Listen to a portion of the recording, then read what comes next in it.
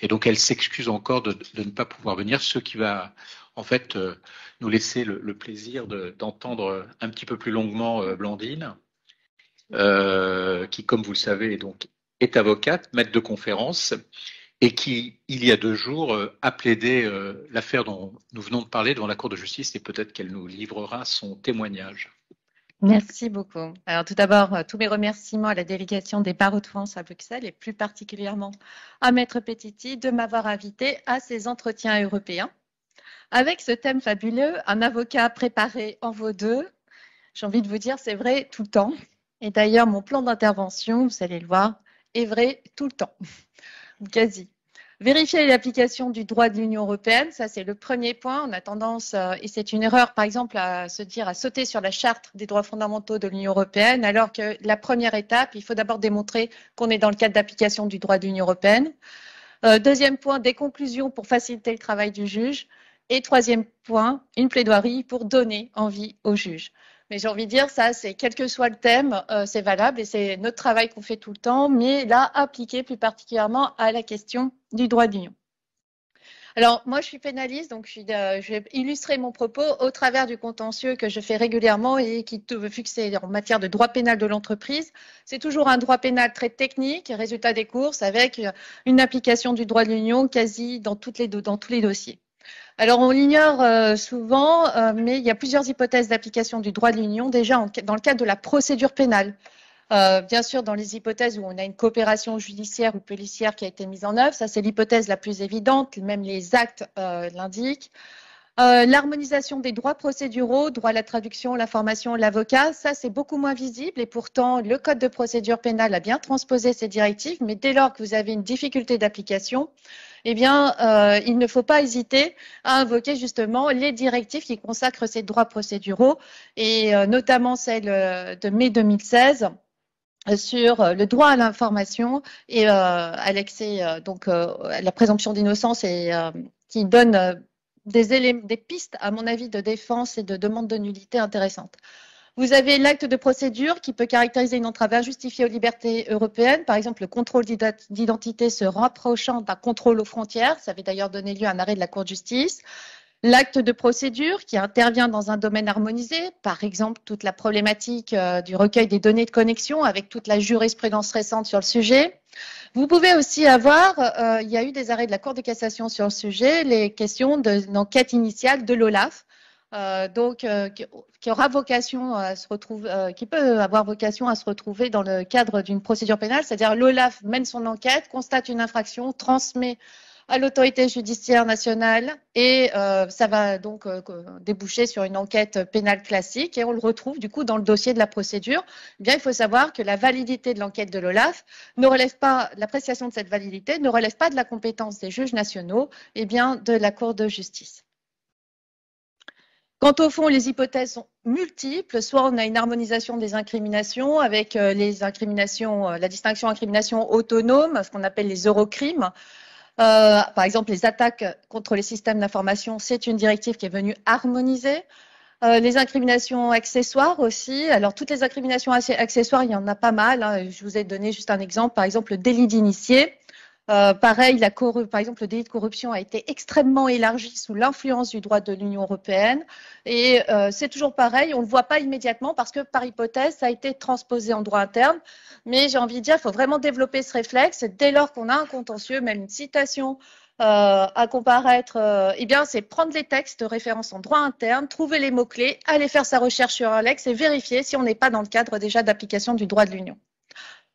Euh, alors, oh, fortiori dans le domaine, euh, j'allais dire, euh, concernant la réglementation pénalement sanctionnée, surtout dans les domaines un, peu techniques, où là, ben, finalement, c'est quasiment tout le temps qu'on a du droit de l'Union européenne, et c'est pas exagéré de dire qu'effectivement, 70 à 80% du droit a pour source les droits de l'Union, droit des transports, détachement de travailleurs, droit de l'environnement, droit de la consommation, droit douanier, etc., etc., etc. Et on sait qu'en pénal, eh bien, en fait, toutes les dispositions extra-pénales sont pour la plupart, en tout cas, pénalement sanctionnés.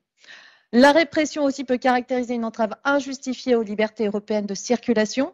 Alors là, c'est là, dans ces cas-là, qu'effectivement, il faut démontrer qu'on est dans une situation factuelle transfrontière entre États membres de l'Union européenne, avec une limite intéressante à garder à l'esprit, c'est la discrimination à rebours. Alors, discrimination à rebours, on est dans une situation purement interne, mais l'application du droit interne aux seules, euh, aux seules situations purement internes conduit à défavoriser les nationaux par rapport justement aux autres opérateurs européens qui, eux, peuvent librement, euh, par exemple, apporter des marchandises euh, sur le territoire français. Alors, il y a eu le cas, notamment, euh, c'était dans le cadre d'une poursuite pour tromperie sur l'appellation foie gras parce que l'appellation foie gras est réglementée très précisément par décret et du coup nos pauvres nos euh, fabricants du Gers euh, s'étaient vus poursuivre pour tromperie parce qu'ils n'avaient pas respecté le décret et on a invoqué du coup euh, les problématiques de libre circulation des marchandises en disant qu'il y avait une discrimination à rebours par rapport aux opérateurs économiques roumains qui pouvaient importer des produits sous l'appellation foie gras sans respecter évidemment toute la réglementation interne. Et du coup, bah, évidemment, discrimination à rebours, violation du droit de l'Union et, donc relax. Euh, dans toutes ces hypothèses de mise en œuvre du droit de l'Union européenne, mais encore une fois, c'est le préalable à démontrer, c'est qu'on est bien dans le cas d'application du droit pénal de l'Union, dans le droit de l'Union, pardon, la Charte des droits fondamentaux de l'Union européenne est applicable. Je vous recommande de la compléter avec les explications relatives à la Charte, qui font corps avec la Charte, la jurisprudence de la CEDH, parce que c'est très utile parce qu'en fait euh, l'article 52 paragraphe 3 de la charte dit bien que dès lors que les droits qu'elle consacre sont également consacrés par la Convention européenne des droits de l'homme, à ce moment-là il faut aussi se référer à la jurisprudence de la Cour européenne. Euh, la jurisprudence, évidemment, de la CJE et CJCE, alors surtout l'époque de la CJCE où la charte n'était pas encore en vigueur, où vous, vous retrouvez des principes généraux du droit, plus des traditions constitutionnelles communes aux États membres et les fiches thématiques Curia, notamment sur la champ d'application de la Charte des droits fondamentaux de l'Union européenne, qui est très utile. Par exemple, si vous voulez démontrer à votre magistrat interne qu'on est bien dans le cadre de l'application du droit de l'Union européenne, vous avez des arrêts très intéressants qui pourront venir illustrer votre propos dans des hypothèses où ce n'est pas forcément évident. Alors la méthode euh, que j'utilise, c'est ce que je vous disais, c'est mon premier réflexe, c'est d'aller sur Eurlex. Je, rentre mon mot-clé et je vérifie. Euh, alors par exemple, euh, c'est ce, qui m'était arrivé de faire dans une poursuite pour risque causé à autrui, dans une affaire d'amiante. On sait que c'est la qualification qui est retenue. Bon, l'amiante, j'ai mes décrets de 96, etc. Mais bon, je vais sur Eurlex, je tape amiante, effectivement, j'ai des directives. Donc je suis déjà dans le cadre d'application du droit de l'Union européenne, puisqu'il faut considérer à ce moment-là que mes décrets euh, internes permettent la mise en œuvre du droit de l'Union. Seuls les articles ont valeur normative, mais les considérants guident l'interprétation. Donc ne jamais, enfin vraiment, là il faut faire, à mon sens, aussi cet effort quand on prend un acte européen, euh, c'est de lire vraiment de la première à la dernière ligne. Euh, c'est vraiment très intéressant de lire l'ensemble des considérants parce que vraiment on comprend la ratio légiste, la dynamique qui guide ensuite les articles qui ont seule valeur normative. Pour la jurisprudence applicable, évidemment, vous avez, alors je vous invite aussi pareil, hein, la Commission européenne, par exemple, a établi des guides de jurisprudence de la CJE, par exemple, sur la liberté d'établissement et sur la libre prestation de services. Ce sont deux thématiques qui reviennent très fréquemment et c'est vrai que ces guides de jurisprudence, moi, je les trouve assez bien faits euh, et euh, ils vous permettent finalement d'avoir une source rapide. Les fiches thématiques Curia aussi. Alors Curia, c'est le site de la Cour de justice. Hein. Par exemple, euh, euh, vous avez une fiche thématique sur la protection des données à caractère personnel. Là aussi, ça peut être extrêmement utile. Et puis, bien sûr, vous avez ensuite euh, tout le répertoire de jurisprudence Curia avec un index assez facile d'utilisation. donc, voilà. Mais effectivement, de toute façon, euh, d'avoir le texte, c'est une bonne chose, mais ensuite, il faut aller chercher la jurisprudence. Si vous allez sur le site Eurlex, si vous regardez avant le début du texte, normalement, euh, vous avez euh, la référence, par exemple, article interprété par. Et en fait, vous avez article par article de la directive ou du règlement. Vous avez juste à cliquer et vous avez les arrêts qui interprètent l'article en question. Là aussi, c'est un outil extrêmement précieux. Euh, ensuite, des conclusions pour faciliter le travail du juge. Euh, bah, évidemment, il faut commencer par démontrer que le litige relève du droit de l'Union européenne, euh, soit qu'on est dans, le cadre de, la mise en œuvre des libertés européennes de circulation, soit qu'on est en présence d'une disposition européenne d'effet direct. Attention, attention, une fâcheuse tendance, à mon sens, hein, en, en droit interne, aux codifications nationales des règlements. C'est-à-dire que vous arrivez, en fait, euh, vous avez votre code des transports, mais en fait, votre code des transports, euh, c'est ni plus ni moins, en théorie, hein, qu'un copier-coller de votre règlement. Et euh, moi, je sais que j'ai déjà plaidé devant des juridictions. Non, mais de toute façon, le code des transports, on n'en a pas besoin, on a un règlement d'effet direct. Et d'avoir des réactions parfois un peu outrées, quand je disais qu'il fallait mettre de côté le code des transports, qu'on n'avait pas à l'utiliser. Transposition du droit de l'Union. Alors là, on est vraiment dans des hypothèses de transposition soit le droit national par une loi ou un décret postérieur ou une ordonnance, on a beaucoup de transpositions par ordonnance, à transposer une directive ou une décision cadre. Alors, la décision cadre, c'est un instrument antérieur euh, entre, sous l'empire du traité d'Amsterdam propre à la matière pénale. En principe, le texte UE, euh, cette fois, figure au visa du texte de codification ou de transposition. Euh, bah, par contre, il faut faire cet effort, euh, j'allais dire, de démontrer au juge national que vous êtes bien, voilà, vous avez votre texte européen, que la disposition nationale qui est visée opère bien la transposition du droit européen. Il y a cet effort de démonstration à faire. Soit le droit national, par des textes préexistants, permet la mise en œuvre du droit de l'Union européenne, et ça, c'est par exemple le cas de l'amiante. Mes décrets internes sont antérieurs aux directives européennes. Mais pour autant, attention la Cour de justice est très claire sur le sujet. Même si ce sont des textes antérieurs qui permettent la mise en œuvre euh, d'une directive euh, européenne postérieure, il faut considérer qu'on est bien dans le cadre d'application du droit de l'Union européenne. Euh, toujours pareil, euh, euh, après avoir démontré qu'on est bien dans le cadre d'application du droit de l'Union européenne, c'est jamais inutile, alors parce que les juridictions pénales connaissent de contentieux très différents, ils ne sont pas forcément très à l'aise avec le droit de l'Union européenne, parce qu'on n'est pas en matière de, contrairement aux, aux magistrats qui traitent des contentieux de la concurrence, relevant du droit de la concurrence. Euh, rappeler la primauté du droit de l'Union européenne, les conséquences de l'effet direct. Alors les conséquences de l'effet direct sont, euh, ont été développées très largement par la, par la Cour de justice. Elles sont attachées au TFUE, au TUE, à la Charte des droits fondamentaux, au règlement, aux directives si le délai de transposition est échu et à condition que les dispositions sont claires, précises et inconditionnelles. Alors l'effet direct, euh, il faut considérer qu'en fait vos justiciables tirent directement ces droits du, euh, droit de l'Union européenne et sont donc effectivement directement opposables. Euh, le droit interne, en fait, il faut complètement l'écarter sans même se poser de questions en théorie. L'obligation d'interprétation conforme euh, pour les directives et décisions cadres, avec euh, une limite, pas d'interprétation contra legem, c'est-à-dire que vous ne pourrez pas vous prévaloir ou vainement vous prévaloir du droit de l'Union européenne euh, si jamais ça devait conduire à une interprétation contra legem et qu'on n'est pas sur un texte d'effet direct ne peut fonder ou aggraver la responsabilité pénale euh, à, aucun moment, même l'effet direct d'une directive ne peut pas, euh, enfin une directive ne pourra jamais, euh, si elle n'a pas été transposée, fonder une responsabilité pénale. Mise en œuvre du droit de l'Union européenne pour les aspects non prévus par le texte. Alors, vous avez tous les aspects qui ne sont pas prévus par les textes eux-mêmes. Alors, cette fois, c'est un renvoi au, droit des États membres, alors que ce soit pour les conditions administratives de mise en œuvre, auprès de qui vous devez faire telle démarche, euh, quelle est l'autorité compétente, quelle est la procédure applicable euh, pour faire valoir votre droit devant les juridictions nationales.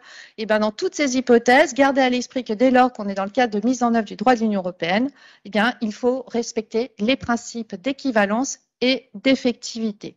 Et très clairement, euh, sur la question euh, qui a été posée à, la Grande Chambre, euh, la question, tout a tourné autour de la question de l'effectivité, du coup, des droits garantis par la directive.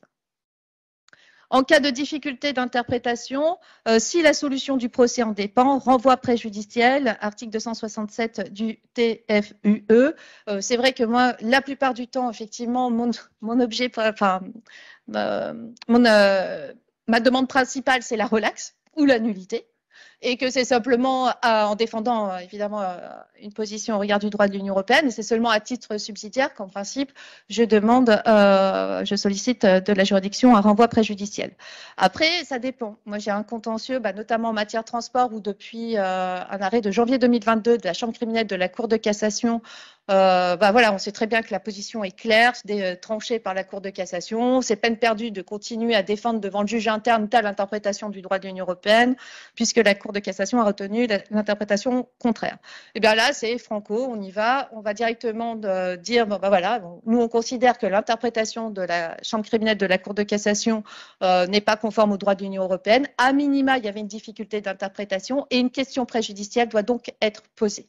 Voilà. Et donc, devant les juges du fond, je l'ai plaidé encore il n'y a pas longtemps, Cour d'appel de Colmar, tout le débat a tourné sur la question préjudicielle, puisque de toute façon, la Cour de cassation avait donné une solution claire et précise. Des conclusions, toujours pour faciliter le travail euh, du juge, insister sur l'importance du renvoi préjudiciel, même s'il est facultatif pour les juridictions ne statuant pas en dernier ressort, on l'a dit et redit, il n'est pas obligatoire euh, pour les juridictions du fond. Et du coup, il faut leur donner envie, hein, déjà dès le stade euh, des, conclusions, à mon sens. Hein.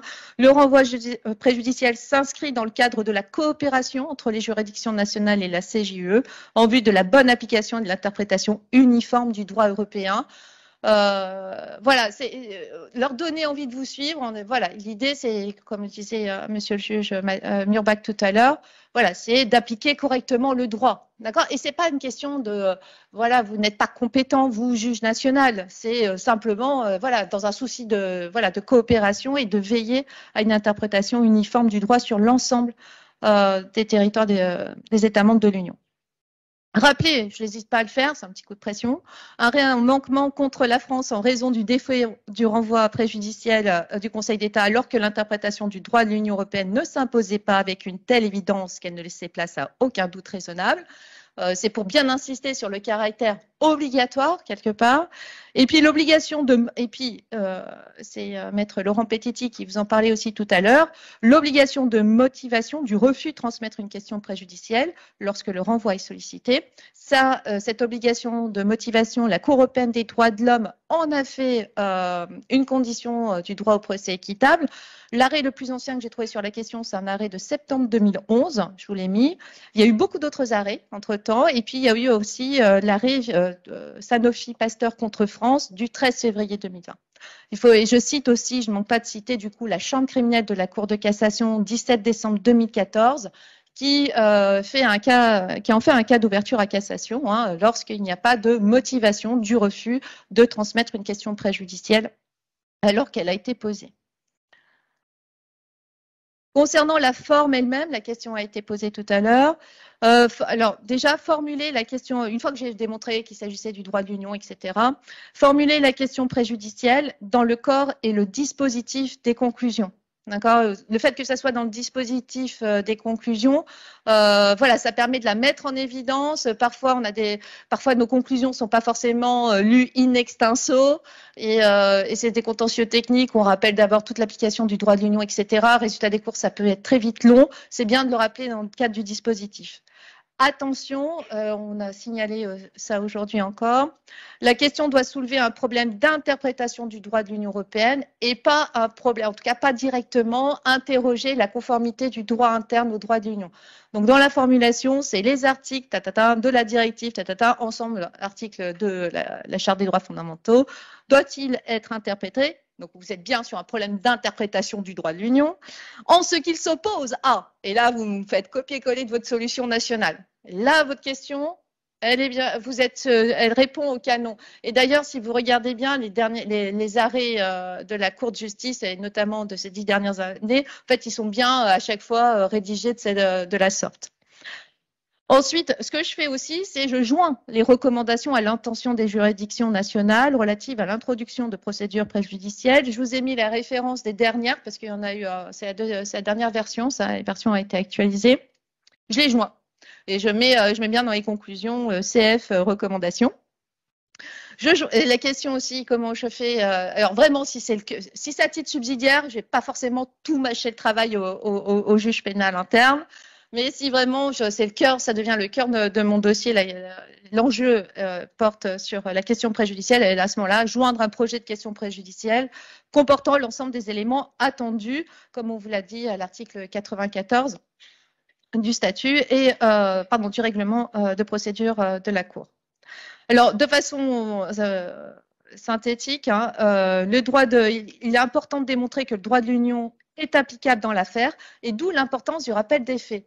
Même si on va interroger la Cour sur une question purement d'interprétation, purement juridique, il est hyper important de démontrer que, au regard des faits concrets qui sont soumis à la juridiction, là, le problème se pose. Donc, le rappel des faits, il ne faut surtout pas le négliger.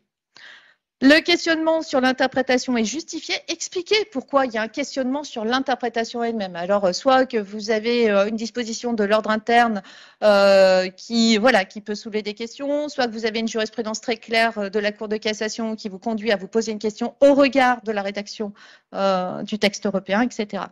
La réponse à la question préjudicielle est déterminante de la solution du procès pénal. Ça aussi, toujours pensez à bien le démontrer pour être sûr que votre question passe voir sur ce point, évidemment, l'article 94 du règlement de procédure de la Cour de justice, qui a déjà été cité aujourd'hui, plus toute la jurisprudence euh, de la Cour euh, sur le répertoire de jurisprudence Curia. Euh, alors, je vous l'ai mis, en fait, si vous voulez, je, je, pourrais transmettre après, mais en fait, le lien vous permet d'avoir directement accès à toute la jurisprudence relative à la recevabilité des questions elles-mêmes.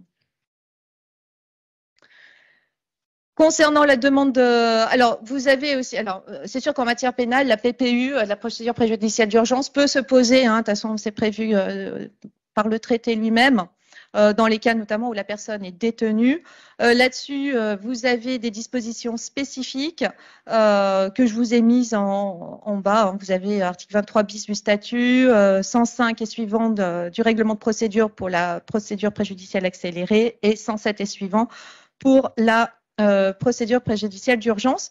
Vous avez une fiche thématique Curia aussi sur ces procédures préjudicielles euh, accélérées qui peut être utile de consulter euh, au moment de rédiger votre projet de questions préjudicielles pour solliciter la, la procédure préjudicielle d'urgence.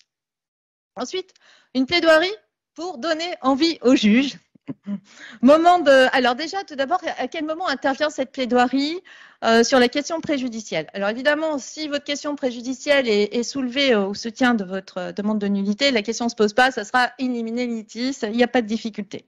Si c'est sur le fond, euh, après quelques hésitations au niveau des juridictions du fond, la Cour de cassation s'est prononcée. Euh, la question préjudicielle n'est pas obligatoirement soulevée in litis. Alors, dans la pratique, et ça m'est arrivé récemment encore, j'ai bien rappelé à la juridiction que ça pas besoin d'être soulevé une liminilitis parce que ce n'est pas forcément une situation très confortable, une liminilitis. Euh, parce qu'il euh, faut démontrer, pour que voilà, votre question préjudicielle semble pertinente, il faut déjà démontrer qu'on est dans un contexte d'application du droit de l'Union européenne, expliquer tout le problème, etc. Et en fait, euh, tout ce travail-là, vous le faites déjà quand vous êtes sur le fond et que vous plaidez, que vous plaidez sur la relaxe. Donc, ce n'est pas forcément évident de démarrer direct par le droit de l'Union européenne. Mais ça peut être le choix d'une juridiction. Moi, la juridiction nous a dit, bah, vous plaidez les nullités, votre question préjudicielle en même temps. Bon, bah, ok, très bien, je plaide mes nullités et questions préjudicielles en même temps.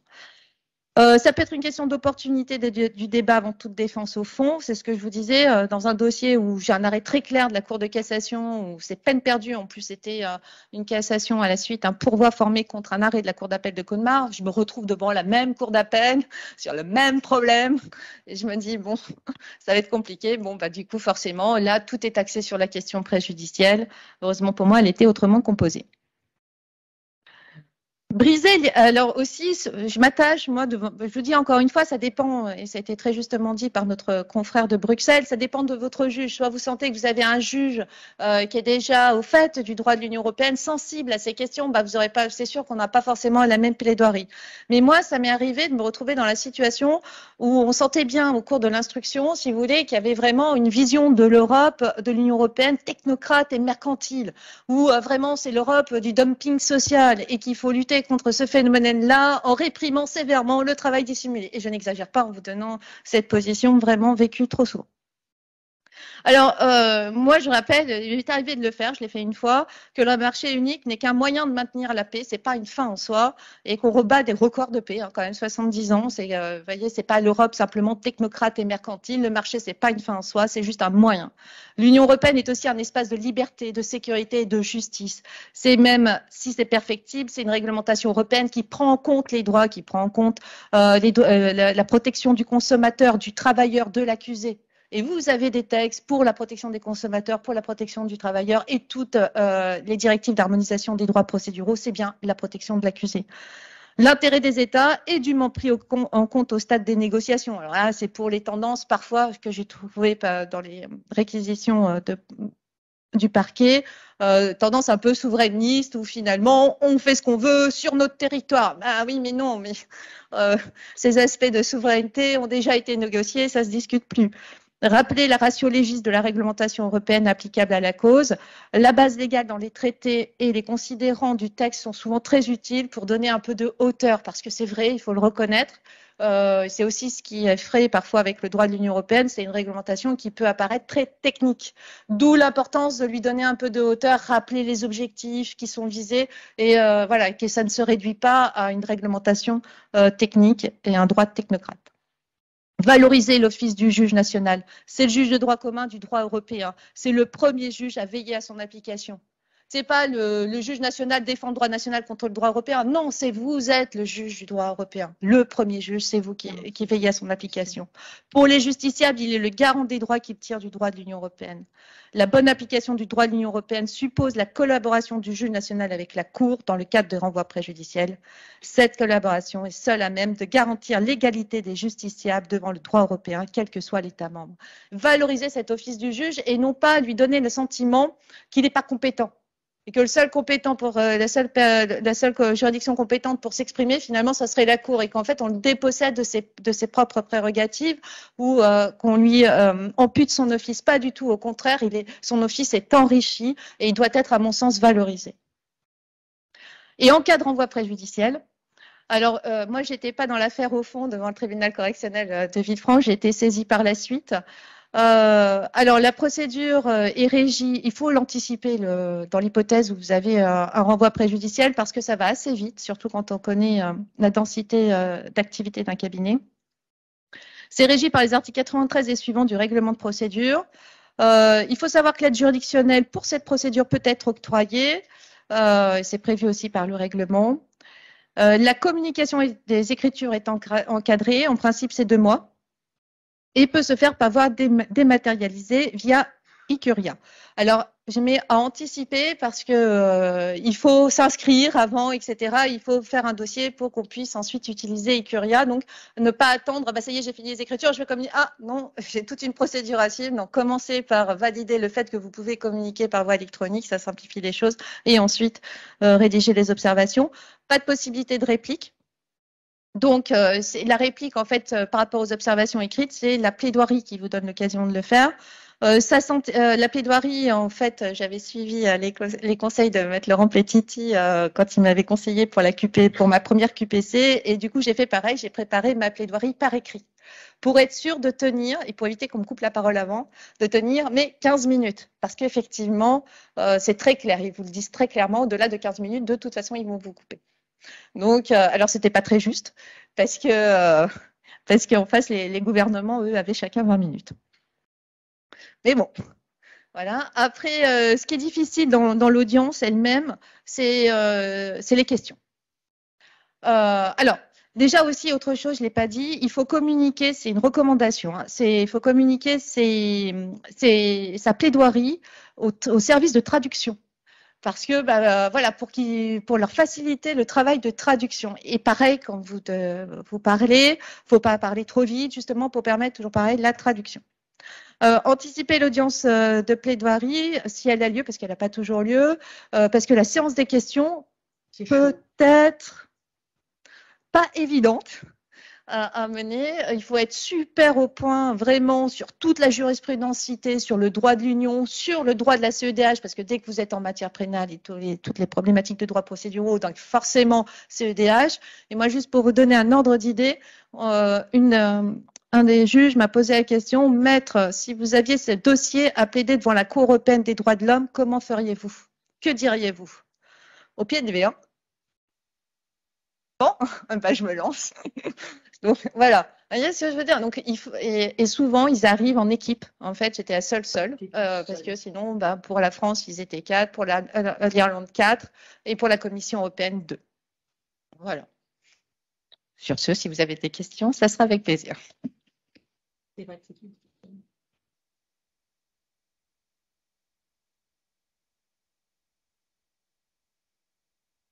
évidemment, le PowerPoint sera à disposition de tous les, participants. Oui, oui, oui, pas de problème. Alors, y a-t-il des, questions euh, des praticiens? Tout a l'air clair. Ah, je vois une qui main.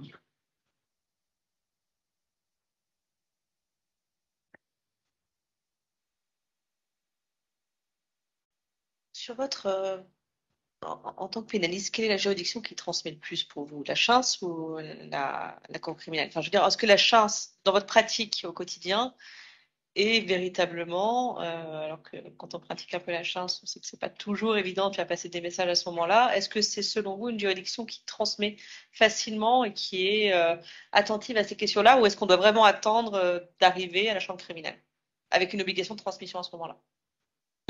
Ah, Alors, dans le cadre de l'instruction. Donc là, on n'est que sur dans, le cadre de l'instruction. Euh, à mon sens, c'est toujours pareil pour pas donner l'impression qu'on a utilisé un moyen dilatoire. Surtout si, si en plus c'est au soutien d'une demande de, nullité de la mise en examen, c'est difficile du coup de pas la poser dès ce stade. Après, sur les chambres d'instruction, j'ai envie de dire, c'est vrai que comme devant euh, toute juridiction, euh, déjà, ça dépend devant quels sont les magistrats qui sont en face de vous. Euh, voilà, il y a des chambres d'instruction où j'ai pas de bons souvenirs. Euh, à chaque fois, je me fais retoquer, je me fais retoquer mes QPC, je me fais retoquer mes nullités, je me fais tout retoquer. Bon, à chaque fois, je fais des recours, des recours, des recours, mais ça me fatigue. D'accord? Donc, voilà, il y a ça dépend des, juridictions. Et après, devant, au stade de l'instruction, on a toujours cette difficulté euh, qui est de dire il ne s'agit pas de statuer sur la culpabilité, mais uniquement de déterminer à ce stade de la procédure s'il existe des indices, machin, etc.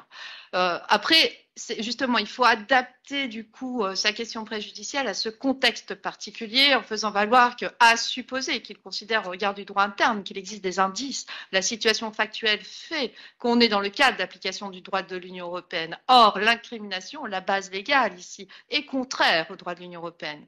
Donc, avant même de perdre son temps et dans un souci de bonne administration de la justice, à déployer des moyens d'investigation sur des faits qui, de toute façon, ne pourront pas donner lieu à condamnation, bah, renvoyez votre question préjudicielle. Mais après, encore une fois, ça dépend.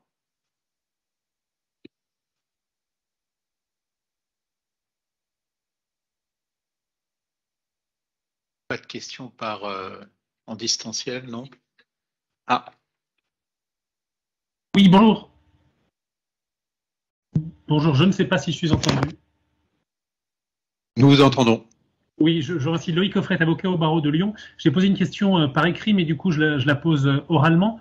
Euh, en comparution immédiate, poser une question préjudicielle suppose-t-il d'avoir demandé un délai pour préparer sa défense? Et dans un cas comme dans l'autre, quelles, quelles conséquences sur l'éventuelle détention provisoire? Alors, euh, déjà, bah, tout dépend de la situation. Là, c'est pareil. Soit ça vous paraît le problème avec le droit de l'Union européenne vous paraît évident, vous n'avez pas besoin de demander un délai supplémentaire pour, pour soumettre votre question préjudicielle.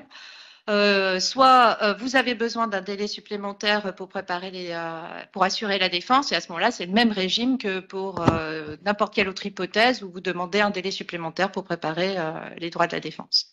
Mais par contre, s'il y a une détention provisoire, évidemment, ça va justifier la PPU, hein. la procédure préjudicielle d'urgence.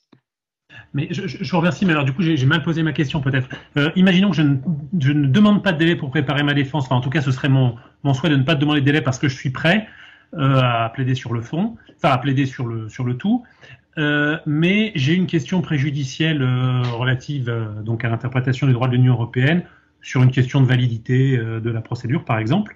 Euh, euh, si je la pose tout de suite sans demander de délai, imaginons que la juridiction, imaginons Paris un peu fou devant une juridiction en matière de comparution immédiate, hein, j'entends bien, mais imaginons que le, le, juge pénal accepte de renvoyer la question préjudicielle ou de la transmettre, je ne sais pas quel vocabulaire il faut employer, euh,